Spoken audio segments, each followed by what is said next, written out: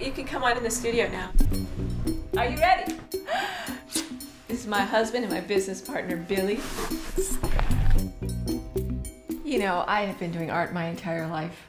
I was born with a paintbrush in my hand. Yeah, I've been labeled as fearless when it comes to color.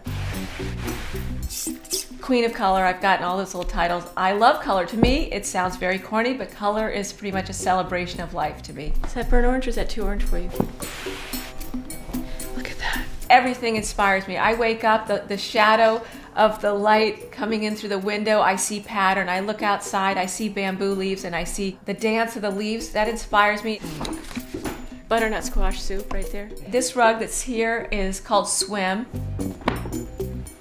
I was snorkeling one day, and if you've ever seen a parrotfish, colors that you don't even think can exist in nature are all on one fish. So basically, these to me are the scales of a parrotfish.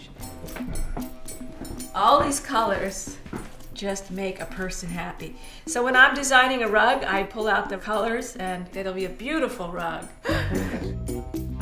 Actually, this is the funnest part of the job, right here. I grew up around rugs. My grandfather was considered a renowned authority on Oriental rugs. It's my grandfather, Mark Keshishian, and they actually started an Oriental rug business on the island of Corfu. So my grandfather eventually landed in Washington, D.C., and he started his business or continued his business, which was Mark Keshishian and Sons. They've been providing rugs to the White House throughout many different administrations. This is something my grandfather said, free vinegar is sweeter than store-bought honey.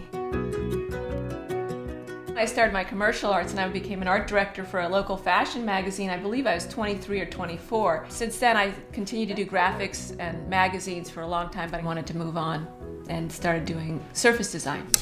And I was in New York one time. We walked by a rug store and I was pointing out the rug store and I said, you know, I my grand fam my family has been in the rug business for generations. And she stopped on the street and she said, That's it. Rugs. I said, What? She goes, you could design rugs. And I thought, I mean, literally, I got dizzy. I was a little weak in the knees. I was a little shaky. Like fireworks were going off in my brain. And I thought, oh my God, that's it. We walked into the store, and just the smell of the wool, it was a little overwhelming. It was sort of like, oh my God, my whole past and my history and my family all just came like this big wave over me. And I felt like I was home. It's uh, just got a beautiful sheen. It's like petting an animal almost. The learning curve was really steep going into the rugs, but that was what was so exciting for me was learning how to translate the pattern into a new process instead of printing into the carpets and the handmade aspect of it. Light reflecting off of paper is different than light reflecting off of wool. Little things like that make a big difference in terms of how that process is going to go all the way through. So here is a lot of work that eventually may become a rug or not. I do find that when people are looking through a book, it's about color. Everybody responds to color first. It's very visceral. Everybody has an emotional reaction to color, whether they know it or not. So if they're going through a book, they'll say, oh, I want this blue, and oh, I like this blue. Obviously, they're looking for blue, and I have to say, oh, but this pattern seems to fit your description. I can make this blue. So that just shows you that's a, three different colorways for the same pattern.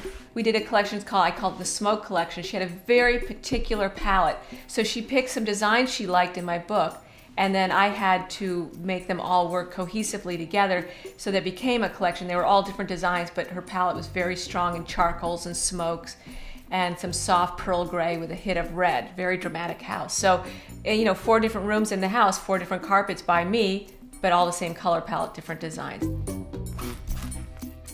Everybody has a visceral response to color, and that's part of it too. And literally, I my closet's organized by color. I get up and I I sort of have a vision of a color that day, and that's what I wear. So we'll just cut it. We'll just it's a wrap right there.